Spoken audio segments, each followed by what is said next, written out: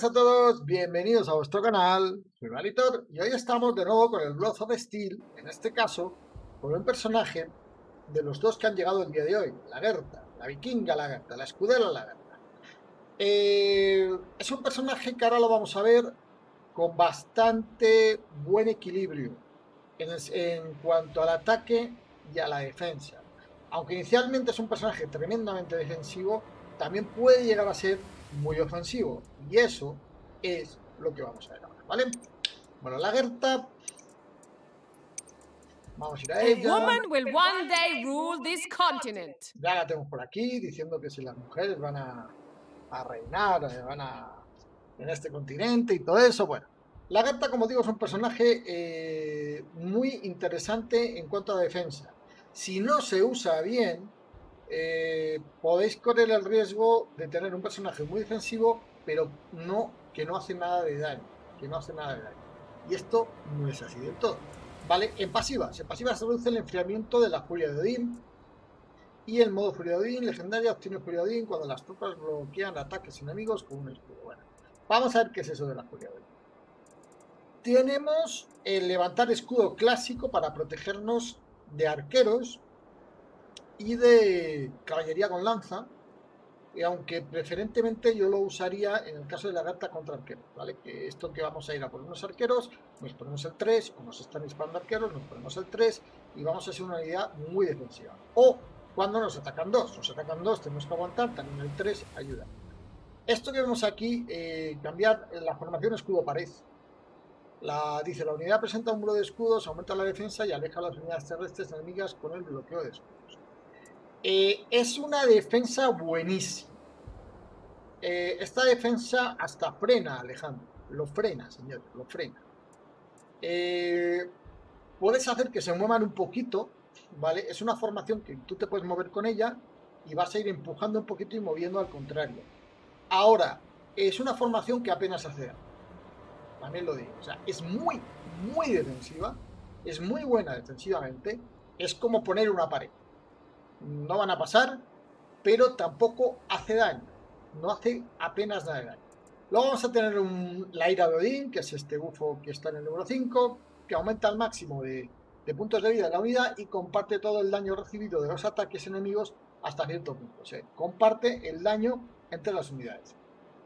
El daño recibido por la guerra, por la guerra, la guerra como dicen aquí, y su unidad, y su unidad le da cierta cantidad de cólera y concede la alerta y su unidad un efecto de 20 segundos de lujuria de sangre cuando su cólera alcanza el 100%. ¿vale? Importante bufo.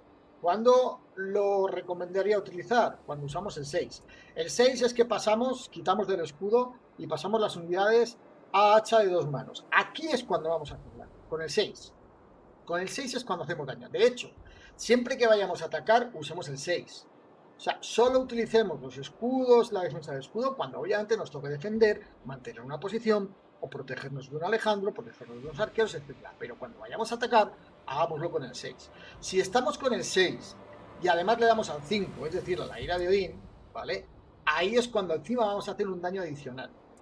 Recordemos que las pasivas dice oleada de batalla, reduce el enfriamiento del cuidado de Odín según eh, dos segundos una vez que la guerra mata a un enemigo. Muy sencillo, matas a uno, ya lo tienes reducido. Eh, defensa preventiva. El modo Furia Odín, la, la obtiene furia adicional cuando las tropas bloquean ataques enemigos con el ¿vale? Cuando están con Furia Odín, que es la, ira de Odín, lo para que en un sitio lo han traducido de una manera, en otro sitio lo han traducido de otra. Bueno, si usas la ira de Odín con escudos, con escudos, ¿vale? Entonces puedes mejorar eh, el ataque, ¿vale?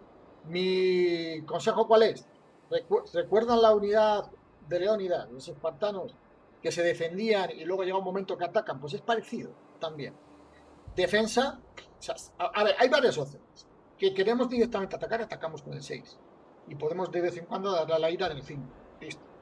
Que nos defendemos, va a llegar un punto en el que vamos a acumular ira, entonces le damos al 5 y vamos a hacer más daño, a pesar de que tenemos el escudo más daño. No obstante, insisto, cuando tienen el escudo no hace mucho daño con lo cual es bueno hacer 5-6, ¿vale? Y mantenerse.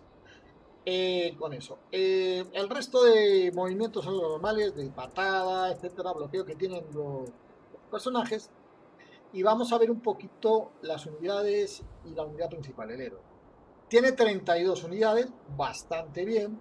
Ok, como ven aquí, el daño lo pone en 3. No es una unidad de mucho daño, pero sí es una unidad bastante de sobrevivencia, de supervivencia.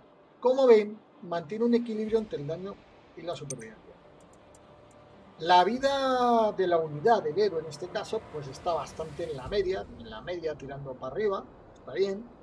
Eh, hace un buen daño, como ven aquí, de corte. Eh, ella tiene, en el 1, tiene hacha. En el 2, tiene una lanza larga, una lanza larga tipo piercing, la que usa todo el mundo en las melees, que hace bastante daño, o para derribar caballerías, la lanza está muy bien, tipo piercing. Y si le damos a la X, pasaremos a la hacha de dos manos, ¿vale? Eso es muy importante. Como ven aquí, en la segunda arma que hablan aquí, ¿vale? Que es la segunda sería la de piercing, o sea, la de puñalada, la punzante, ok, también tiene un daño elevado, pero el daño más elevado que tiene, en este caso ella, eh, es este, es el daño de, el daño de la defensa está bastante bien, sobre todo la defensa externa, la defensa de armadura, pero luego tiene una vida bastante buena en comparación a otras unidades que no la tienen. Realmente eh, esto, la defensa externa, que es la armadura, la defensa interna, que es la vida, casi siempre en todos los héroes y unidades se termina compensando una con otra. En este caso, en general, es una unidad muy resistente. Cuidado, es muy resistente, ¿vale? Muy resistente. Con lo cual, muy recomendable a aquellos que les guste resistir en la batalla para poder encontrar oportunidades de victoria. Vamos a las unidades. Las unidades eh, que son estas, que se parecen tremendamente, si han visto la serie al hijo de la gata, se parecen tremendamente al hijo de la gata. Bueno, las unidades eh, tienen también, pues la, vida que tiene regularcita, regularcita no es mala, pero está bien. Pero el hecho es que tienen entre armadura y vida tienen bastante resistencia, aguantan mucho, ¿vale? Aguantan mucho. Tienen daño de, corte, solamente tienen daño de corte con las hachas, que es 62, es un daño elevado, pero insisto, solo lo vamos a notar bien cuando estemos eh, a dos manos. La movilidad regular, no es una unidad de infantería que se mueva rápido, pero tampoco es lenta. Es una unidad de escudo, por lo tanto debería ir tirando a lenta, pero se mueve bien. Digamos que en el campo de batalla al final la unidad se mueve bastante bien. Y bueno, pues esto sería toda la explicación. Muy importante, eh, aquí lo que dice, siempre es bueno leer estas cositas que van diciendo el héroe, ¿vale? La de alerta puede usarse como escudero defensivo, así como hachero de dos manos ofensivo. Lo que yo estaba diciendo, aprovecha la de para pedir la alerta, resistencia a invasiones enemigas con facilidad. Vale. Dice hábil, la alerta puede usarse como escudero defensivo, así como soldado ofensivo de hacha dos manos y al final la Gerta carece de los medios para contrarrestar tropas de caballería y no es muy maniobrable. Eh, contra caballería, yo difiero de esto. Yo la he visto con el hacha a dos manos contra caballería y aguanta la caballería lancera bastante bien, la aguanta bastante bien sin el escudo, ¿eh? con, la, con el hacha a dos manos. Lo que no tiene es velocidad para alcanzar la caballería. Cuando la atrapa, la destroza. ¿vale? Ahí diferiría un poquito de todo eso. Bueno, diferiría un poquito de todo eso. Vale, esto es la información. Sí, aquí te viene todo lo que tiene y las habilidades. ¿Vale? Bueno. Eh, vamos a ver los skins, el tema de los skins. Bueno, con la llegada de la Berta han llegado sus skins. Woman will cofre, a woman, ¿vale? a woman will one day rule this continent. nos da este skin, ¿ok? Ahí con las trencitas, en plan cabello oscuro, y el mismo, one day rule this continent. Prácticamente el mismo, con recolor en este caso, con un recolor en el cual vamos, lo veo más vistoso, ¿vale? Lo veo más vistoso con esos colores, rubia y tal. Eh, por la misma tenéis las armas, ¿vale? Igual. Las armas una más oscura, el hacha, y ahí la tenéis, y otra más vistosa. Eh, el escudo igual, lo tenéis uno oscuro y otro así, ¿ok? ¿Y qué más iba a decir de, de la Gerta? Eh, bueno, decir que se puede obtener su skin en la tienda también con... O sea, aquí en esta tienda, en la de fragmentos de atuendo, ¿vale? En la de fragmentos de atuendo también se puede obtener el skin de la Gerta. Aquí lo tenéis. ¿ok? Se puede obtener, además, además el, que me parece más bonito, que es el, el más vistoso, ¿vale? Reina de la punta. Eh, lo que no me gusta es que han sacado eh, los cofres nuevos que han sacado de los dos héroes de, que han sacado hoy en el juego. Eh, son dos cofres con muchas opciones, muy extensos. Y creo que tienen un ratio bastante pequeño de que te salga la skin. Eso es lo que no me termina de, gustar en cuanto a, a la skin, ¿ok? Que tiene la carta pero en principio. A woman will, a woman, a woman, a woman will one day rule this. A woman will one day rule this continent. Sobre, consejos generales sobre la guerra. Eh, a ver, es una unidad que hay que saber usarla, porque es tanto defensiva como ofensiva. Y hay que encontrar siempre el punto. Eso la hace muy versátil, pero hay que encontrarle siempre el puntito de cuándo y cómo. Cuándo y cómo. Si yo llego a una batalla abierta, que veo que está todo el mundo pegándose por todos lados, hacha dos manos, hacha dos manos y a pegar. que me encuentro en una ciudad, y ahí la versatilidad de ella, que me encuentro en una ciudad y en un callejón y me viene Alejandro, o veo que me atacan dos, quiero bloquear porque tengo detrás unos arqueros, puedo bloquear, no tengo los arqueros, los arqueros disparan y no la van a mover, eh, no la van a mover, va a ser muy difícil que la quiten de Y además tiene el contraataque, ¿vale? Carga ira, pum, contraataque daño. Es vital para aquellos que quieran aprender a usar bien esta, esta unidad, eso, saber manejar la ofensiva con la defensiva de un modo equilibrado y de un modo sensato en cada momento de la batalla. Si lo hacen así, la van a manejar estupendamente. Si no, van a encontrar que no le terminan de encontrar el punto y no les va a gustar la unidad. ¿Vale? Si son ustedes siempre agresivos o, pretenden ir defensivos siempre, pues defensivos siempre no van a hacer daño. Es que no van a hacer daño. Nada, cero. Se van a encontrar que hemos matado a 5, 8, 10, no van a hacer daño. Si van defensivos apenas van a hacer daño, pero habrá batallas, habrá momentos que puedan hacer daño. ¿Es una unidad OP para Ranked? Eh, yo creo que puede ser interesante en Ranked, no va a ser de las más OPs, como está el César, otras, pero sí que puede ser un counter contra Alejandro, por ejemplo. Entonces puede terminar eso convirtiéndola en una unidad bastante interesante en cuatro conquistas de Ranked. Bueno, pues eso es todo. Espero que les guste la unidad, disfrútenla. Un saludito, con mucho cariño. Chao.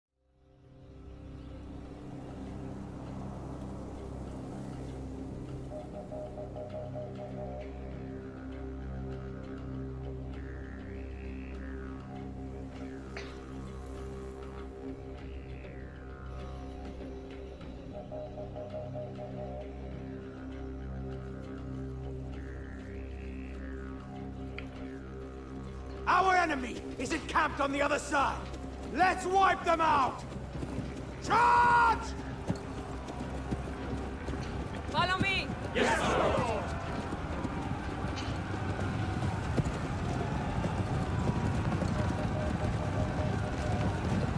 We are capturing an objective.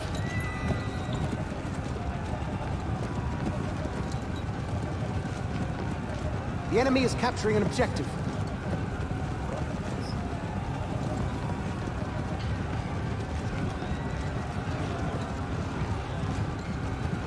Enemy has taken an objective.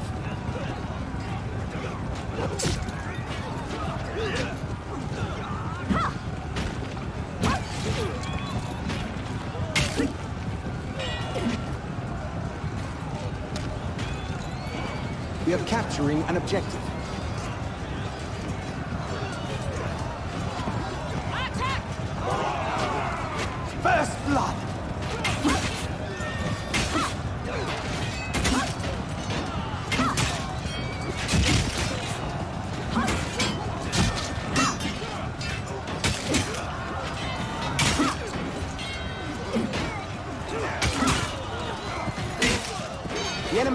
Objective. Double kill! We are capturing an objective.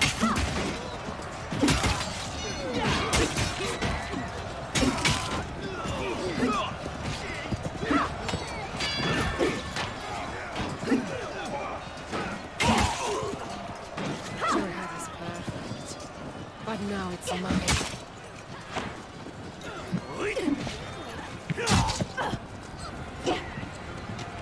Enemy has losing. taken an objective. Brothers, keep the pressure on, and let's crush them! Double kill! We are capturing an objective. Follow me! Yes,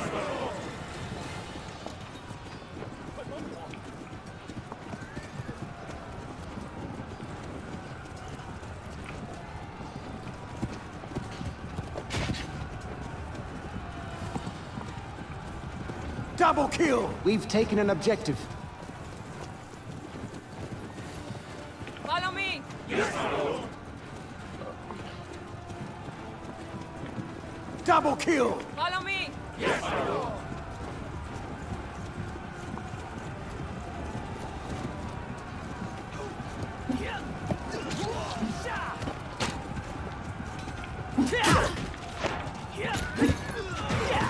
Triple kill!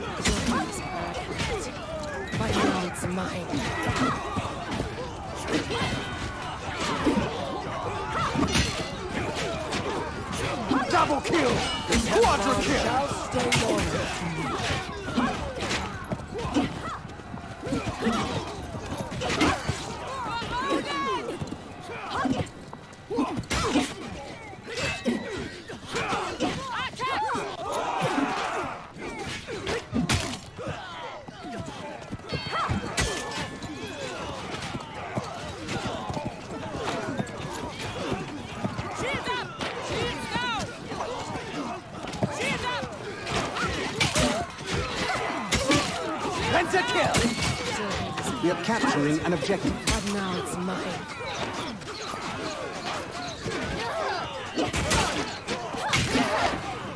Triple kill! Triple